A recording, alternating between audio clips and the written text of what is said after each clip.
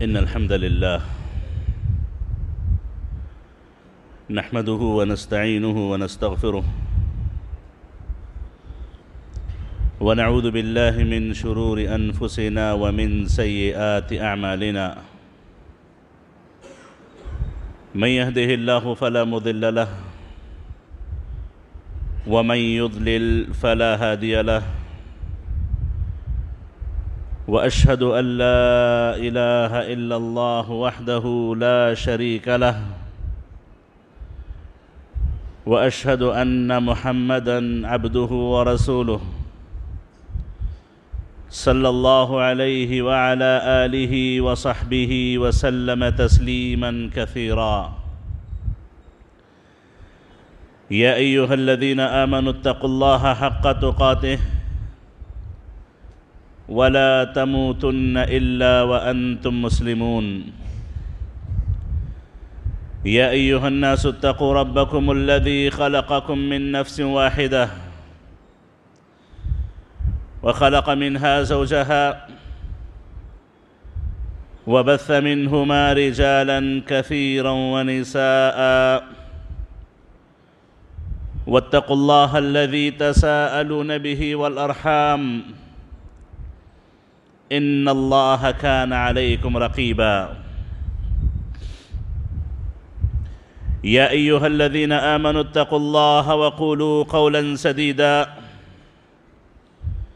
يصلح لكم أعمالكم ويغفر لكم ذنوبكم.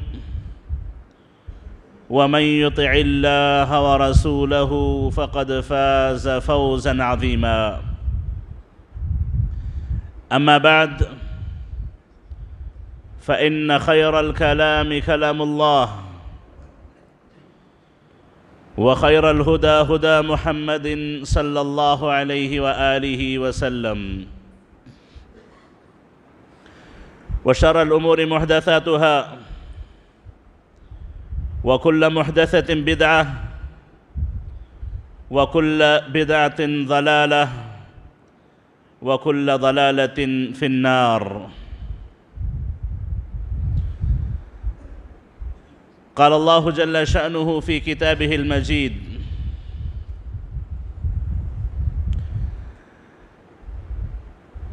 لا تجعلوا دعاء الرسول بينكم كدعاء بعضكم بعضا. قد يعلم الله الذين يتسللون منكم لواذا. فليحذر الذين يخالفون عن أمره أن تصيبهم فتنة أو يصيبهم عذاب أليم. قابل احترام حاضرین جمعہ۔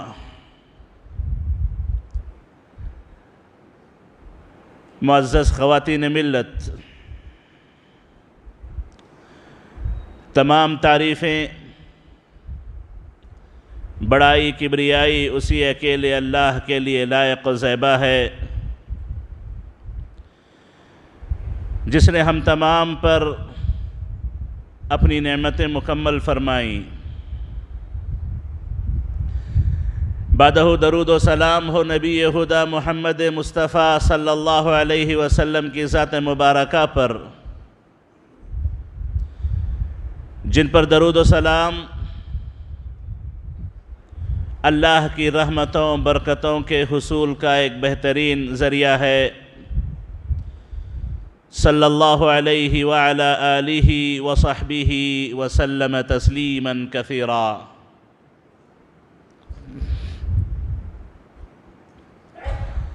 معزز حاضرین،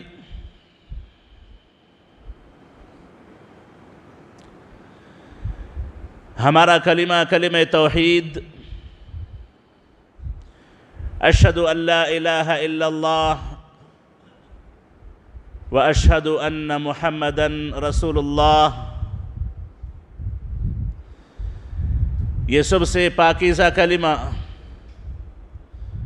سب سے وزنی کلمہ ہے۔ یہ کلمہ توحید۔ جس میں اللہ تعالیٰ کے اکیلے معبود برحق ہونے کا اقرار ہے۔ اور محمد الرسول اللہ صلی اللہ علیہ وسلم کی رسالت کا اقرار اور ایمان ہے۔ یہ ایک ایسا عہد ہے، یہ ایک ایسا اللہ تعالیٰ کے ساتھ کیا جانے والا وعدہ ہے کہ بندہ ایک مرتبہ اللہ تعالیٰ سے اس بات کا عہد کر لے کہ اشہد ان لا الہ الا اللہ و اشہد ان محمد رسول اللہ۔ تو اس کے بدلے میں اللہ تعالیٰ نے جنتیں رکھی ہیں، اپنی رضامندیاں رکھی ہیں۔ معزز حاضرین، یہ کلمہ قیامت کے دن میزان میں سب سے زیادہ وزنی، سب سے زیادہ بھاری ہوگا۔ کسی انسان کی زندگی بھر کے گناہ اس کلمے کے سامنے کوئی وزن نہیں رکھ پاتے۔ بشرطے کہ بندے نے اس کلمے کا حقیقی معنوں میں حق ادا کرنے کی کوشش کی ہو اور اپنے آپ کو شرک سے محفوظ رکھا ہو۔ اس کلمے کے دو حصے ہیں۔ ایک، اللہ کے اکیلے معبود برحق ہونے کا اقرار اور گواہی۔ اور دوسرا، محمد علیہ السلام کے اللہ کے رسول ہونے کی گواہی اور اقرار۔ معزز حاضرین، اللہ تعالیٰ نے اس کلمے میں سب سے پہلے اپنے اقرار کو رکھا کہ میری الوحیت کا اقرار کیا جائے، میرے اکیلے معبود برحق ہونے کا اقرار کیا جائے، گواہی دی جائے، اور اس کے بعد محمد علیہ السلام کے اللہ کے رسول ہونے کی گواہی پیش کی جاتی ہے۔ اللہ تعالیٰ نے اللہ کے نبی کو بڑا مقام عطا کیا۔ نبیوں رسولوں کا سردار آپ کو بنایا۔ تمام انبیاء سے رسولوں سے اس بات کا عہد لیا۔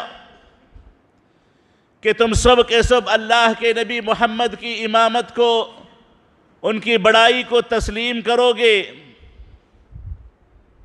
اور آپ کی امت کو تمام نبیوں کی امتوں کے مقابلے سب سے افضل، سب سے بہترین امت گردانہ قرار دیا۔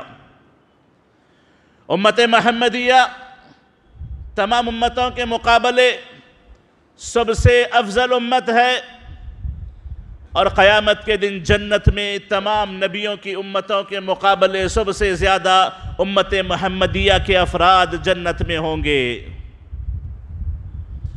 یہ سب مقام و مرتبہ اسی کلمے کی بنیاد پر ہے کہ اشہد اللہ الہ الا اللہ، کہ میں سوائے اللہ کے کسی کی عبادت نہیں کرتا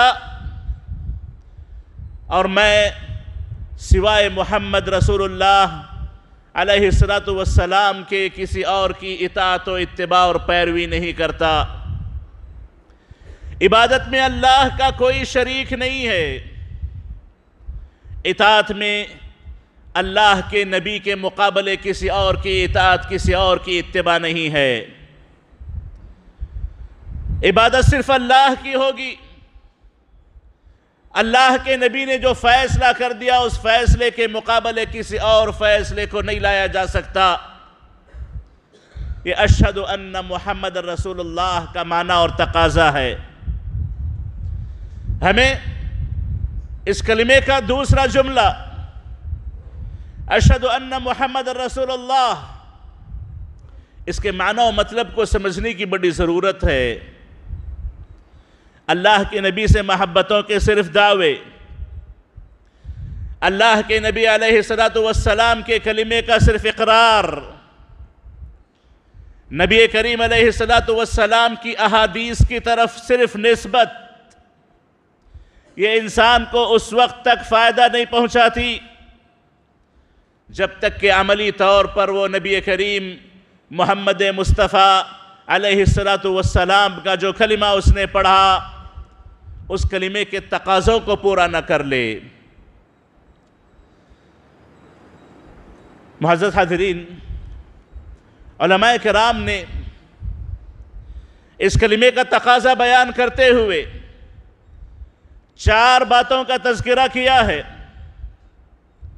کہتے ہیں اشد ان محمد رسول اللہ، ہم سے یہ چار تقاضے چاہتا ہے۔ ہم سے چار مطالبے یہ کرتا ہے۔ پہلا مطالبہ تصدیق فیما اخبر کہ اللہ کے نبی علیہ السلام سے جو بھی احادیث ثابت ہو جائے اس میں اللہ کے نبی کو سچا مانا جائے، اس کی تصدیق کی جائے۔ طاعته فیما امر، اللہ کے نبی نے جس بات کا حکم دیا، اس کی پیروی کی جائے، اطاعت کی جائے، اتباع کی جائے۔ والاستناب عما نہا عنہ وزجر۔ اور اللہ کے نبی نے جس سے روک دیا، اس سے بندہ مکمل طور پر اپنے آپ کو روک لے۔ وَأَن لَا يُعْبَدَ اللَّهُ إِلَّا بِمَا شَرَعَ۔ اور اللہ تعالیٰ کی عبادت صرف اور صرف اللہ کے نبی کے بتائے ہوئے طریقے کے مطابق کی جائے۔ یہ چار تقاضے ہیں۔ کہ اللہ کے نبی کی حدیثوں کو سچا مان لیں قبول کر لیں اللہ کے نبی کے احکامات کی پیروی کریں اللہ کے نبی نے جس سے منع کیا، اس سے اپنے آپ کو مکمل روک لیں اور اللہ کے نبی کے طریقے کے مطابق اللہ تعالیٰ کی عبادت کرے۔ یہ چار تقاضے ہیں جو اشد ان محمد رسول اللہ ہم سے چاہتا ہے، ہم سے مطالبہ کرتا ہے۔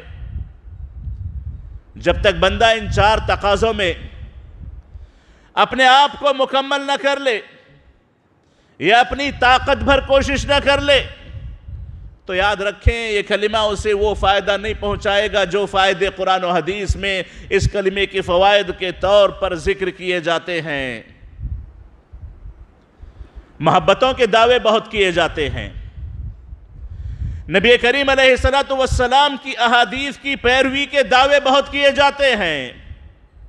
لیکن آزمائش تب ہوتی ہے جب ایک طرف اللہ کے نبی کی حدیث اللہ کے نبی کا حکم ہو اور دوسری طرف آپ کا کوئی دنیا کا فائدہ ہو، آپ کی کوئی خواہش ہو، آپ کے کسی محبوب کا مسئلہ ہو مسئلہ وہاں ہوتا ہے، آزمائش وہاں ہوتی ہے کہ دیکھیں کہ اللہ کے نبی علیہ السلام کی محبت کا جو دعویٰ آپ نے کیا، اللہ کے نبی کا جو کلمہ آپ نے پڑھا، اس میں کہا تک آپ سچے ہیں؟ یا آپ نے اپنی نفسانی خواہشات کو اس سے کہیں اونچا رکھا، اپنے محبوب کی محبوب چیزوں کو اس سے کہیں اونچا رکھا؟ آزمائشیں یہاں پہ ہوتی ہیں۔ تصدیق فیما اخبر۔ سب سے پہلی بات کہ اللہ کے نبی علیہ السلام نے جو بتا دیا، اس کو آپ سچا مان لیں، سچا جان لیں۔ یہ اللہ کے نبی پر ایمان کا سب سے پہلا تقاضا ہے کہ آپ تصدیق کریں۔ تبھی جا کر کے کسی مسلمان کو صدیق کا لقب مل سکتا ہے۔ صدیقین کے درجے کو پہنچ سکتا ہے اسی وقت جب وہ اللہ کے نبی کے بتائی ہوئی باتوں پر مکمل یقین و ایمان رکھے۔ اگرچہ اس کے ذہن میں وہ بات نہ سموتی ہو، اگرچہ اس کی عقل بات اس کو قبول نہ کرتی ہو، اگرچہ کہ دیکھتے ہوئے ماحول کے خلاف ظاہری طور پر اسے کیوں نظر نہ آتی ہو، جب تک وہ اللہ کے نبی کی تعلق سے منقول باتیں صحیح احادیث سے جب ثابت ہو جائے، اس کو مکمل طور پر سچا جان لے۔ تبھی جا کر کے اللہ کے اس کلمے کا، اللہ کے نبی کے اس کلمے کا تقاضا وہ پورا کر سکتا ہے۔ معزز حاضرین، ابو بکر صدیق صدیق کیسے بن گئے؟ صدیق کا لقب کیسے ملا؟ ابو بکر جب سے ایمان لائے تھے، کافروں کی یہ کوشش تھی کہ اللہ کے نبی سے ان کو برگشتہ کیا جائے۔ اللہ کے نبی کے تعلق سے کچھ غلط فہمیاں ان کے ذہن میں پیدا کرائی جائیں۔ کیونکہ کفار قریش کے درمیان ابوبکر کا ایک مقام و مرتبہ تھا۔ لیکن ابوبکر صدیق رضی اللہ عنہ ایمان میں بڑے پختے تھے۔ ایک مرتبہ اللہ کے نبی نے صبح صبح اٹھ کر کے اپنے ساتھیوں سے کہا، کافر بھی موجود تھے، ان لوگوں نے بھی سنا کہ آج رات میں نے بیت المقدس کی سیر کر لی۔ آج رات مجھے آسمانوں کی سیر کرائی گئی۔ کیا آپ کا کیا کہنا تھا؟ کہ کافر و مشرکوں کے لیے ایک بہترین ہتھیار مل گیا۔ کیونکہ عقلی طور پر یہ ناممکن بات تھی کہ مکہ سے کوئی بدہ سینکڑوں کلومیٹر دور، اس زمانے میں، جس زمانے میں اونٹ بہترین سواری تھی، جائے جا کر کے واپس لوٹ کر کے آ جائے، جہاں تک جانے آنے کے لیے مہینے درکار ہوا کرتے تھے، اتنا بڑا دعویٰ کر کے اللہ کے نبی نے جب اپنی بات بتائی کفار نے اس کو بہترین غنیمت تصور کیا۔ دوڑے دوڑے وہ بگر صدیق کے پاس گئے۔ جا کر کے وہ بگر صدیق سے کہا کہ اگر کوئی یہ کہے کہ اس نے راتوں رات مکہ سے فلاں جگہ کا سفر کیا اور لوٹ کے آیا ہو، کیا ایسی بات کسی کی تسلیم کی جا سکتی ہے؟ ابو بکر نے کہا کہ نہیں، یہ تو غیر معقول بات ہے۔ تو کہنے لگے کہ جس پر تم ایمان لائے ہو، اس کا یہ دعویٰ ہے۔ جس کو تم نے نبی تسلیم کیا، اس کا یہ دعویٰ ہے۔ یہ سننا تھا۔ ابو بکر صدیق رضی اللہ تعالیٰ عنہ نے کہا، اگر انہوں نے دعویٰ کیا ہے، تو اس دعوے کو میں تسلیم کرتا ہوں، اپنی بات میں سچے ہیں۔ میں کیسے ان کی بات نہ مانوں؟ جبکہ وہ وہ باتیں بتاتے ہیں جو آسمانوں سے اترتی ہیں۔ آسمانوں سے اترنے والی باتوں کو جب میں نے تسلیم کیا، تو یہ کوئی بڑی بات نہیں، اللہ کے نبی اپنی بات میں سچے ہیں۔ یہ صدیقیت تھی۔ ابو بکر کا مقام و مرتبہ تھا کہ اللہ کے نبی کی زبان سے کوئی کلمہ نکل جائے۔ اس کی تصدیق کرنا ایک مسلمان کے ایمان کی نشانی ہے۔ معزز حاضرین، اللہ کے نبی سے اگر کوئی بات سچی ثابت ہو جائے تو ایک مسلمان اسے قبول کر لیتا ہے۔ عبداللہ بن عمر بن العاص رضی اللہ تعالیٰ عنہ، اللہ کے نبی کی تمام باتیں لکھا کرتے تھے۔ جو بھی آپ کی زبان سے نکلا، آپ لکھ لیا کرتے تھے۔ کفار قریش نے ان سے کہا کہ یہ کیا کر رہے ہو؟ محمد بھی انسان ہے، ان سے بھی اونچ نیچ ہوگی، ان سے بھی اونچ نیچ ہو سکتی ہے۔ ہر بات کیوں لکھتے ہو؟ اللہ کے نبی کے پاس پہنچ گئے، کہنے لگے کہ یا رسول اللہ، میں آپ کی باتیں نوٹ کرتا ہوں، آپ کی باتیں لکھتا ہوں۔ اور یہ کہتے ہیں کہ آپ انسان ہیں، آپ سے اونچ نیچ ہو سکتی ہے، میں سب باتیں کیوں لکھوں؟ تو نبی کریم علیہ السلام نے کہا کہ یا عمر والذی نفسی بیدہی ما خرج منی الا حق۔ اکتب کہ لکھو، جو بھی اس زبان سے نکلا ہے وہ حق نکلا ہے۔ حق کے علاوہ کوئی اور بات اس زبان سے نکلتی نہیں ہے۔ یہ اللہ کے نبی کا دعویٰ، اللہ کے نبی کا فرمان کہ اللہ کی نبی کی زبان سے جو نکلا، اللہ کے نبی کی زبان سے جو ثابت ہو گیا، وہ حق ہوتا ہے۔ حق کے علاوہ کچھ اور نہیں ہوتا۔ اشہد ان محمد رسول اللہ کا یہ تقاضا ہے۔ کتنی حدیثیں ہمارے سامنے آتی ہیں؟ صحیح بخاری کی حدیث ہوگی۔ یا حدیث کی کسی اور کتاب کی صحیح سرد سے حدیث ہوگی۔ ایک مسلمان کا تقاضا ایمان کا یہ ہے کہ وہ اس کو من وعن تسلیم کر لے۔ اس کو چاہے اب تھوڑی دیر کے لیے سمجھ میں آئے، نہ آئے۔ لیکن جب اللہ کے نبی سے کوئی بات ثابت ہو جائے، اسے تسلیم کرنا یہ اس کے کلمے کا تقاضا، ایمان کا تقاضا ہے۔ تو معزز حاضرین، اس مسئلے میں اپنے آپ کو ٹٹولیں کہ ہم نے اشد ان محمد رسول اللہ تو کہا، اللہ کے نبی کی احادیث کی تصدیق میں ہم کہاں تک سچے اور پکے ہیں؟ اللہ کے نبی علیہ السلام ایک مرتبہ بیٹھے ہوئے تھے۔ ایک صحابی نے آ کر کہا کہ میں اپنی بھیڑیوں کو لے جا رہا تھا اچھا میں اپنی بکریوں کو چرا رہا تھا اچانک بھیڑیا آ گیا، بکریوں کو بکریوں پہ اس نے حملہ کیا، ایک بکری اٹھا لی بھاگنے لگا، میں اپنی بکری کو بچانے کے لیے اس بھیڑیے کے پیچھے پیچھے بھاگا، کسی طریقے سے میں نے اس بھیڑیے سے اپنی بکری کو بچا لیا۔ تو کیا دیکھتا ہوں کہ بھیڑیا اچانک اپنی دم کے بل پلٹ کے میری طرف رخ کر کے بیٹھ گیا، کہنے لگا کہ تم نے آج تو اپنی بکری بچا لی، اس دن کیسے بچاؤ گے جب جنگل راج ہوگا؟ بھیڑیا زبانی بات کرنے لگا، بھیڑیا صحابی سے مخاطب ہونے لگا۔ اللہ کے نبی کے پاس وہ صحابی پہنچے۔ اللہ کے نبی کو اس صحابی نے واقعہ بیان کیا۔ صحابہ پریشان ہو گئے کہ یہ کیسے ہو سکتا ہے کہ بھیڑیا بات کرنے لگے۔ اللہ کے نبی نے کہا، مجھے ابو بکر عمر کو اس پر مکمل ایمان و یقین ہے۔ میں ابو بکر عمر اس پر ایمان لاتے ہیں، اس کو یقین جانتے ہیں۔ تو معزز حاضرین، اللہ کے نبی علیہ السلام سے کوئی بات ثابت ہو جائے تو اس کو تسلیم کیا جانا چاہیے۔ چاہے آپ کے ذوق کے خلاف کیوں نہ ہو، چاہے آپ کی سوچ کے خلاف کیوں نہ ہو، چاہے وہ ہم نے جو ماحول دیکھا ہے، ہمارا اپنا جو ماحول ہے اس ماحول کے خلاف بھی کیوں نہ ہو؟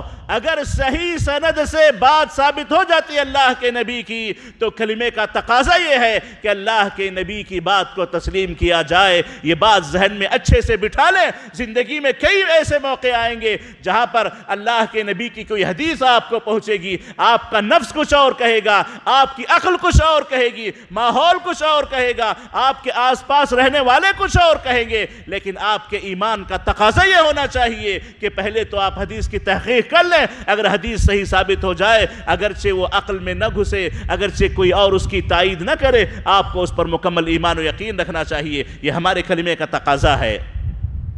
محبتوں کے دعوے کوئی کام نہیں دیتے۔ محبتوں کے دعوے کوئی کام نہیں دیتے۔ تصدیق ہونی چاہیے اللہ کے نبی کی کہ میرے نبی نے جو کہا وہ حق بات ہے، سچی بات ہے۔ اور دوسری چیز تعتہ فیما امر اللہ کے نبی نے کوئی حکم دے دیا تو اس کی آپ پیروی کرو. اس کو اپنی طاقت بھر کرنے کی کوشش کرو. طاقتیں مختلف ہوتی ہیں. حیثیتیں مختلف ہوتی ہیں. کبھی مکمل ہوتی ہے طاقت، کبھی طاقت کم ہوتی ہے. اللہ کے نبی نے اسی لیے کہا، اذا امرتکم بامر فاتوا منه ما استطعتم. کہ جب میں کسی بات کا حکم دوں تو اپنی طاقت بھر اس کی پیروی کرو، اس کو مانو، اس کے مطابق عمل کرو. اپنی طاقت بھر تو کر لو، ہیلے بہانے نہ کرو۔ نبی کریم علیہ السلام کے صحابہ کی زندگیوں میں بے شمار ہمیں ایسی مثالیں ملتی ہیں کہ اللہ کے نبی کی زبان سے یہاں کلمہ نکلتا، آپ کسی بات کا حکم دیتے، فوری طور پر صحابہ اس پر عمل پیرا ہو جایا کرتے تھے۔ فوری طور پر اللہ کے نبی کے احکام کی مکمل پیروی میں لگ جاتے تھے۔ فیما امر۔ اللہ کے نبی نے جس کا حکم دے دیا، اس کی مکمل پیروی کرنا۔ یہ ان کے دین کا، ان کے ایمان کا تقاضا تھا۔ اس کی بے شمار مثالیں ہمیں ملتی ہیں۔ بے شمار مثالیں ہمیں ملتی ہیں۔ معزز حاضرین، مسجد قبلتین میں صحابہ نماز میں مصروف ہیں۔ ابتدائے اسلام میں اللہ کے نبی بیت المقدس کی طرف رخ کر کے نماز پڑھا کرتے تھے۔ بیت المقدس آپ کا قبلہ تھا۔ اللہ کے نبی کی بڑی شدید خواہش تھی کہ کعبے کو قبلہ بنا دیا جائے۔ اللہ نے اللہ کے نبی کی خواہش کو باقی رکھتے ہوئے اللہ کے نبی کو حکم دیا کہ آپ اپنا قبلہ کعبے کو بنا لیں۔ مسجد نبوی میں اس پر عمل ہونے لگا۔ قبلتین مسجد سے دور تھی۔ وہ لوگ اپنی نماز میں تھے۔ ان کو ابھی قبلے کے بدلنے کا پتہ نہیں چلا تھا۔ وہ نماز پڑھ رہے تھے، حالت رکو میں تھے۔ اچانک باہر سے ایک صحابی نے آواز لگائی، کہنے لگے کہ سنو، قبلہ بدل چکا ہے۔ تمام صحابہ کو تقریباً پتا تھا کہ اللہ کی نبی کی شدید خواہش ہے کہ کعبے کو قبلہ بنایا جائے۔ اس صحابی نے اعلان کیا کہ دیکھو، اللہ کے نبی کا یہ حکم ہے۔ اللہ نے قبلہ تبدیل کر دیا، اللہ تعالیٰ نے کعبے کو قبلہ بنانے کا حکم دیا، تو کہتے ہیں کہ نماز ہی کی حالت میں رکو ہی کی حالت میں ان لوگوں نے اپنا چہرہ بیت المقدس سے ہٹا کر کے کعبے کی طرف کر لیا۔ انہوں نے اس بات کی تاخیر نہ کی کہ نماز ہم نے شروع کر لی مکمل ہو جائے۔ یہ بات انہوں نے نہ سوچی کہ جا کر کے مسئلے کی تحقیق کر لیں۔ کیونکہ انہیں یقین تھا، انہیں یقین تھا کہ اللہ کے نبی کی طرف سے، اللہ کے نبی کے صحابہ جب کوئی بات بتاتے ہیں تو سچی بات بتاتے ہیں، بھلی بات بتاتے ہیں، ثابت شدہ بات بتاتے ہیں، فوری انہوں نے تعمیل کر لی۔ طاعتہ فیما امر، جس کا حکم دیا فوری طور پر اطاعت کرنا، یہ ایمان کا تقاضا ہے۔ اللہ کے نبی ایک مرتبہ امامت کرا رہے ہیں۔ آپ اپنی چپل پہن کے امامت کرا رہے ہیں، چپل پہن کے آپ نماز پڑھا رہے ہیں، صحابہ بھی چپل پہن کے نماز پڑھ رہے تھے۔ اللہ کے نبی نے فوری طور پر اپنی چپل اتار دی۔ کیا دیکھنا تھا کہ سب صحابہ نے اپنی چپلیں اتار دی سب صحابہ نے اپنی چپلیں اتار دی اللہ کے نبی کو کوئی کام کرتے دیکھتے تو فوری اس کی تعمیل میں لگ جاتے، فوری اس کی اتباع اور پیروی میں لگ جاتے۔ معزز حاضرین، اللہ کے نبی نے بعد میں فرمایا کہ دیکھو جبریل آئے تھے، انہوں نے آ کے مجھ سے کہا کہ آپ کی چپل میں گندگی ہے تو میں نے نکال دیا، تم نے کیوں نکالی؟ تو صحابہ نے کہا کہ ہم نے آپ کو کرتے ہوئے دیکھا تو ہم نے آپ کی پیروی کر لی، ہم نے آپ کی اتباع کر لی۔ یہ اتباع کا جذبہ جب تک نہ ہو ایمان مکمل نہیں ہوگا، یہ اتباع کا جذبہ جب تک نہ ہو ایمان مکمل نہیں ہوگا۔ یہ یہ جو باتیں میں بتا رہا ہوں آپ کو، یہ کوئی نئی باتیں نہیں ہیں۔ بالکل وہی باتیں جو آپ نے کئی مرتبہ سنی بھی ہوں گی۔ لیکن مسئلہ آتا کہاں پہ ہے؟ جب آپ کی خواہش کوئی ہو، آپ کسی عمل کے عادی ہو چکے ہوں، آپ کو کسی کام کرنے کی عادت پڑ چکی ہو، اللہ کے نبی کی حدیث کا آپ کو پتا چلے۔ اللہ کے نبی کا حکم آپ کو ملے۔ اور آپ اس وقت پریشان ہو جائیں کہ میں کیا کروں؟ یہ میں اس کی میری عادت تھی۔ میں نے اپنے آبا اجداد کو کرتے دیکھا، میں نے اپنے علماء کو کہتے ہوئے سنا۔ میرا پورا خاندان اسی پر عمل کرنے والا ہے تو کیسے میں اس کو چھوڑ دوں؟ اللہ کے نبی کی حدیث کو لوں یا اس طریقے کو لوں؟ یہ بھی عبادت ہے، وہ اللہ کے نبی کا حکم ہے، آزمائش یہاں پہ ہوتی ہے۔ تو ایسے مواقف زندگی میں لوگوں کے درمیان آتے ضرور ہے۔ مختلف موقف اور مختلف حالات میں ایسے واقعات پیش آتے ہیں۔ اپنے ذہن میں اچھا رکھ لیں۔ اشہد ان محمد رسول اللہ کا معنی یہ ہے کہ اللہ کے نبی کا حکم آ جائے تو تمام احکام بالائے طاق رکھ دیے جاتے ہیں۔ اللہ کے نبی کے حکم کی پیروی کی جانی چاہیے۔ تو فیما امر۔ پہلے معلوم کر لیں کہ اللہ کے نبی نے کیا کیا احکامات دیے ہیں، ان کی پیروی کریں۔ اور ہم نے کلمہ تو پڑھا ہے، اللہ کے نبی کے کتنے احکام ہمیں پتا ہیں، کتنے احکام ہم جانتے ہیں۔ ذرا اپنا اپنا محاسبہ کر کے دیکھے، اپنا اپنا محاسبہ کر کے دیکھے کہ کتنے احکام ہیں جو ہم نے اپنے نفسانی خواہشات کی بنیاد پر پیٹ پیچھے ڈال دیے ہیں، اس پر ہم اپنی زندگی میں عمل نہیں کرتے۔ یہ کیسے کلمہ مکمل ہوگا؟ کیسے محبت کے دعوے مکمل ہوں گے؟ اور تیسرا، الاجتناب عما نہا عنہ وزجر اللہ کے نبی نے کسی چیز سے روک دیا تو اسے مکمل طور پر رک جائیں، اپنے آپ کو روک لیں۔ یہ اللہ کے نبی کے کلمے کے پڑھنے کا ایک بڑا ہی اہم تقاضا ہے کہ اللہ کے نبی نے روک دیا، ہمیں کبھی اسے نہیں کرنا ہے۔ اللہ کے نبی نے منع کر دیا، کبھی ہمیں اسے منع نہیں کرنا ہے۔ اس کام سے ہمیں اپنے آپ کو روکنا ہے۔ یہ ہمارے کلمے کا تقاضا ہے۔ صحابہ میں بے شمار مثالیں ہمیں ملیں گی۔ سلف صالحین کی زندگیوں کی بے شمار مثالیں ہمیں پتا ہیں کہ اللہ کے نبی نے کسی چیز سے روکا تو فوری طور پہ رک جایا کرتے تھے۔ اور اللہ کے نبی کے حکام کی خلاف ورزی نہیں کرتے، مخالفت نہیں کرتے۔ تو معزز حاضرین، اللہ کے نبی کی منع کردہ چیزوں سے اپنے آپ کو روک لیں۔ اپنے آپ کو روک لیں، اس میں اللہ تعالیٰ نے دنیا و آخرت کا خیر رکھا ہے۔ دنیا و آخرت کی کامیابیاں رکھی ہیں۔ ہم پر جو نحوستیں، ہم پر جو مصیبتیں، ہم پر جو آفتیں آتی ہیں، ان آفتوں کا ایک بڑا سبب اللہ کے نبی کی حرام کردہ چیزوں کو، منع کردہ چیزوں کو ہم نے دھڑلے کے ساتھ اپنانا شروع کر لیا۔ اپنی زندگی میں ان کو ہم نے داخل کر لیا ہے، جس کی وجہ سے ہماری زندگیوں میں وہ برکتیں نہیں ہیں جو برکتیں ایک مسلمان کی زندگی میں ہونی چاہیے۔ ہماری زندگیوں میں وہ سکون نہیں ہے جو سکون ایک مسلمان کی زندگی میں ہونا چاہیے۔ وجہ یہ ہے کہ اللہ کے نبی کی بے شمار منع کردہ چیزیں ہم نے اپنی زندگیوں میں اپنا رکھی ہیں۔ محسوس حاضرین، نبی کریم علیہ السلام نے ابتداء اسلام میں سونے کی انگوٹھی پہنی۔ سونے کی انگوٹھی پہنی۔ تو صحابہ نے دیکھ کر کے سونے کی انگوٹھیاں بنوا لیں۔ پھر آپ نے سونے کی انگوٹھی نکال دی، نکال کر کے پھینک دی۔ تو ایک صحابی نے بھی اپنی سونے کی انگوٹھی نکال کر کے پھینک دی۔ بعد میں صحابہ نے کہا کہ جس چیز کو تم نے پھینکا ہے، اٹھا لو۔ سونا ہے استعمال کر لو گے، فائدہ ہو جائے گا۔ تو کہنے لگے کہ میں نے اللہ کے نبی کو دیکھ کر کے جو چیز پھینک دی، اس کو دوبارہ میں نہیں اٹھاؤں گا۔ اگرچہ ان کا اٹھانا جائز ہوتا ہے، اللہ کے نبی کے حکم کی مخالفت نہیں تھی، لیکن انہوں نے اللہ کے نبی کی منع کردہ چیزوں کے استعمال سے اپنے آپ کو بچانے کی پوری حد تک کوشش کی، اس میں اپنا نقصان بھی برداشت کر لیا۔ اپنا دنیاوی نقصان بھی انہوں نے برداشت کر لیا۔ اللہ کے نبی کی ظاہری طور پر کسی بھی قسم کی مخالفت کو وہ برداشت نہیں کیا کرتے تھے۔ اور یہ ہم ہیں کہ اللہ کے نبی کی احکام کی مختلف مخالفتیں ہم کرتے ہیں۔ اللہ کے نبی نے منع کیا ہماری زندگی میں وہ چیزیں موجود ہیں جس کی وجہ سے ہماری زندگیوں میں برکتیں نہیں دکھائی دیتی۔ معزز حاضرین اشہد ان محمد رسول اللہ جو کلمہ ہم نے پڑھا ہے، اس کلمے کے تقاضوں کو اپنی زندگیوں میں رکھ کر کے، زندگی کے جو مختلف موقعوں پر جو واقعات ہماری زندگیوں میں پیش آتے ہیں، اس میں اپنے ایمان کو مضبوط کرنے کی کوشش کریں۔ ہو سکتا ہے یہی چھوٹی چھوٹی چیزیں، ہو سکتا ہے قیامت کے دن ہماری نجات کا ذریعہ بن جائیں۔ اللہ تعالیٰ سے دعا ہے کہ اللہ تعالیٰ ہمیں اس کلم توحید اور کلم شہادت، اس کی لاج رکھنے کی توفیق نصیب فرمائے۔ آمین۔ اقول قولی هذا واستغفر اللہ لی ولکم ولسائر المسلمين من كل ذنب فاستغفروه إنه هو الغفور الرحيم.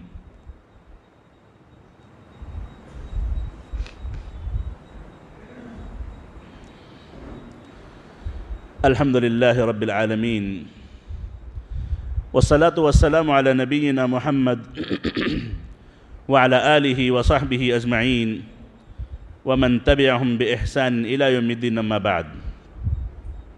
معزز حاضرین اس کلمے کا چوتھا تقاضا ان لا يعبد اللہ الا بما شرع، کہ دیکھو ہم عبادت کے لیے پیدا ہوئے ہیں، اللہ نے عبادت کے لیے ہمیں پیدا کیا کہ ہم صرف ایک اللہ کی عبادت کریں۔ لیکن عبادتوں میں ہمیں آزاد نہیں رکھا گیا ہے کہ آپ کا من جیسے چاہے آپ عبادت کرنے لگیں، آپ کا دل جو چاہے اسے آپ عبادت سمجھنے لگیں، جیسا چاہے آپ مجاہدہ اور ریاضتیں کرنے لگیں۔ نہیں، بلکہ اللہ کے نبی علیہ السلام کا کلمہ ہم پر روک لگاتا ہے، ہمیں طریقہ سکھاتا ہے اور وہ طریقہ سکھاتا ہے جو طریقہ اس دنیا کا سب سے بہترین، سب سے افضل طریقہ ہے۔ اس سے اونچا، اس سے بہتر کوئی اور طریقہ نہیں ہو سکتا۔ انسان اپنی زندگی بھر کی عبادتوں کو بھی جمع کر لے، اللہ کے نبی کی سکھائی ہوئی ایک عبادت کی برابریوں نہیں کر سکتا جب تک کہ سنت کی موافقت نہ ہو۔ اعمال قبول اسی وقت ہوتے ہیں جب اللہ کے نبی کی سنت کے مطابق وہ اعمال کیے جائیں، عبادتیں کی جائیں۔ وَأَن لَا يُعْبَدَ اللَّهُ إِلَّا بِمَا شَرَعَ۔ کہ آپ اللہ کی عبادت کریں تو اللہ کے نبی کے بتائے ہوئے، سکھائے ہوئے طریقے کے مطابق عبادت کریں۔ یہ آپ کے کلمے کا تقاضا ہے۔ یہ نہیں ہے کہ ہم نے اپنے ماحول کے مطابق، اپنے اپنے طریقوں کے مطابق، ماں باپ کے رواج کے مطابق، آبا و اجداد کے طریقے کے مطابق عبادتیں ہم نے اپنا لی۔ ویسے نہیں ہوگا۔ کلمے کا تقاضا یہ ہے کہ آپ پہلے دیکھ لیں کہ جو عبادت آپ کرنے جا رہے ہیں وہ اللہ کے نبی سے اگر ثابت ہو تو وہ عبادت ہے، اگر اللہ کے نبی سے ثابت نہ ہو تو وہ اللہ کو راضی کرنے والا عمل نہیں ہو سکتا۔ چاہے آپ بہت بڑے بڑے کام، بڑی بڑی قربانیاں آپ کیوں نہ کر لیں۔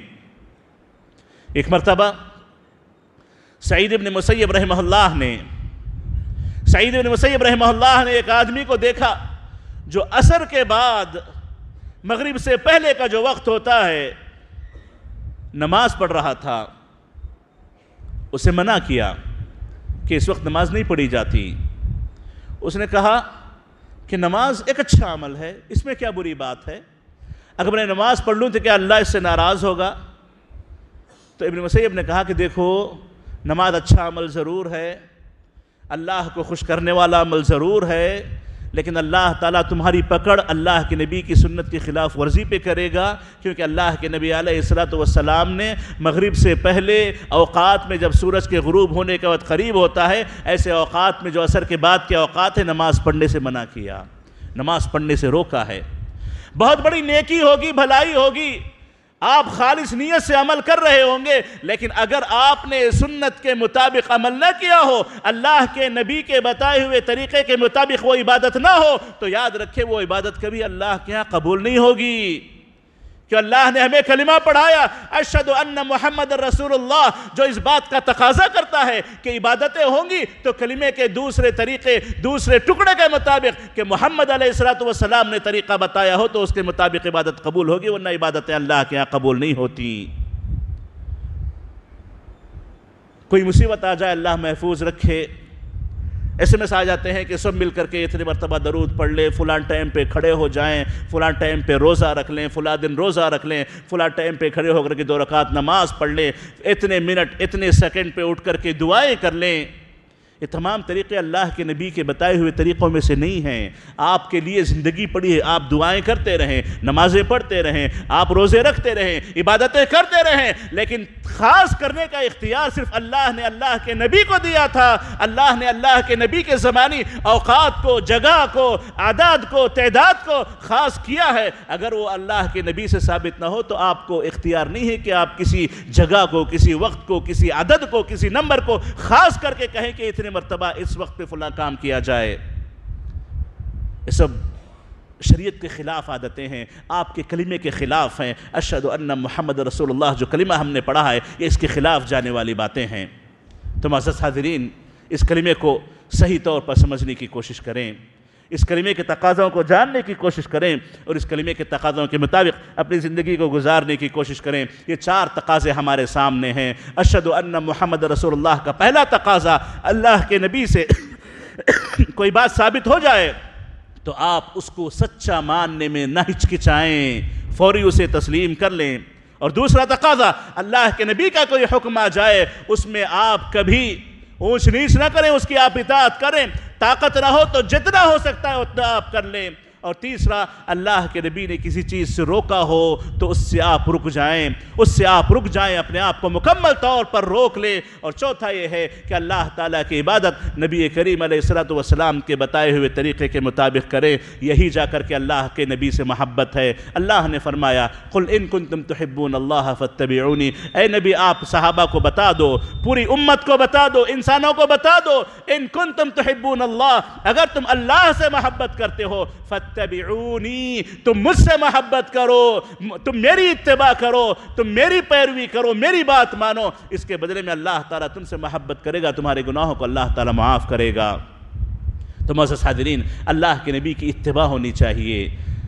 یہ ربیع الاول کا مہینہ، جس میں میلاد کے نام پر جو برائیاں کی جاتی ہیں، نیتیں بڑی اچھی ہوگی، لیکن اعمال میں جو برائیاں داخل ہو چکی ہیں جو نہ اللہ کے نبی نے اپنی زندگی میں کیا، نہ صحابہ نے زندگی میں کیا، نہ تابعین نے، نہ ائمہ نے، نہ سلف صالحین نے، بلکہ اسلام دشمنوں کی پیدا کی گئی یہ بدعت ہے۔ بڑے افسوس کے ساتھ ہم مسلمانوں نے اس کو اپنا لیا۔ مسلمانوں کا ایک بڑا حصہ اس کو مانتا ہے، اس کو لے کر کے چلتا ہے، اس کو میلاد کے طور پہ، عید کے طور پہ مناتا ہے۔ یہ اللہ کے نبی سے محبت نہیں ہے، یہ اللہ کے نبی سے محبت نہیں ہے۔ یہ اشہد ان محمد رسول اللہ ان تقاضوں کے خلاف خلاف جانے والی بات ہے، بندہ اس سے پرہیز کرے اور ایسا کوئی بھی عمل، ایسا کوئی بھی عمل، ایسی کوئی بھی بات جو اسلام کے خلاف ہو، اسلام میں ثابت نہ ہو، اس سے بندہ اپنے آپ کو بچانے کی کوشش کرے۔ معزز حاضرین، حقیقی معنوں میں اللہ کے نبی سے محبت کرنے والے بنے۔ ہم چاہیں جتنی محبت کر لیں، صحابہ سے بڑھ کے محبت نہیں کر سکتے۔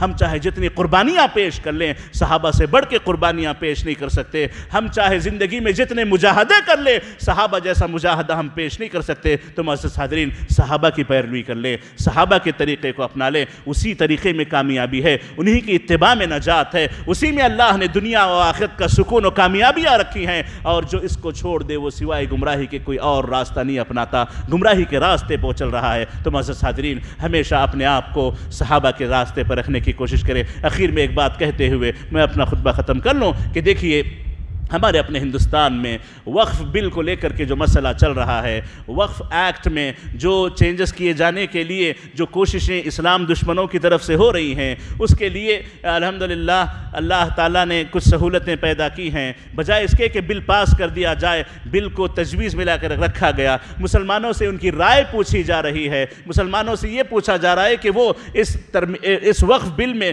کوئی چینجز چاہتے ہیں کہ نہیں چاہتے ہیں؟ تو معزز حاضرین، اپنی بیداری کا ثبوت دے اور وقف جس میں کہ اللہ کے تمام گھر جتنی مسجدیں ہیں، سب عام طور پر اللہ کے لیے وقف ہوتی ہیں، یہ سب اس دائرے میں آ جاتی ہیں، یہ سب اس دائرے میں آ جاتی ہیں۔ تو اللہ کے گھروں کی حفاظت کا مسئلہ ہے۔ اللہ کے گھروں کی حفاظت کا مسئلہ ہے۔ ہم میں سے ہر کوئی شخص اپنے طور پر، اپنے جاننے والے جتنے لوگ ہیں، ان سب سے اپنا جو حصہ ہو سکتا ہے، اپنی جو رائے ہو سکتی ہے، اپنا جو احتجاج ہو سکتا ہے، اس کو درج کر کے ایسی کسی بھی اسلام مخالف بل کو پاس نہ ہونے دیں۔ ہر ایک کی اپنی ذمہ داری ہے، ہر ایک اپنی ذمہ داری اپنے اپنے طور پر ادا کرے۔ اللہ تعالیٰ کے ہاں اس کے لیے خیر و خوبیاں ہوں گی اور اپنی ذمہ داری سے کوئی پیچھے نہ ہٹے۔ اللہ تعالیٰ سے دعا ہے کہ اللہ تعالیٰ ہماری، ہمارے اسلام کی حفاظت فرمائے۔ اللہ تعالیٰ ہمیں اپنی شریعت کا مان رکھنے، اپنی شریعت کا احترام کرنے کی ہمیں توفیق نصیب فرمائے۔ اپنی شریعت کا اللہ تعالیٰ ہمیں پابند بنائے رکھے اور اللہ تعالیٰ جب تک زندہ رکھے، اس کلمہ توحید کو ماننے والا، اس پر جمنے والا بنا کر کے زندہ رکھے۔ اور جب موت دے تو ہمارا خاتمہ بالخیر فرمائے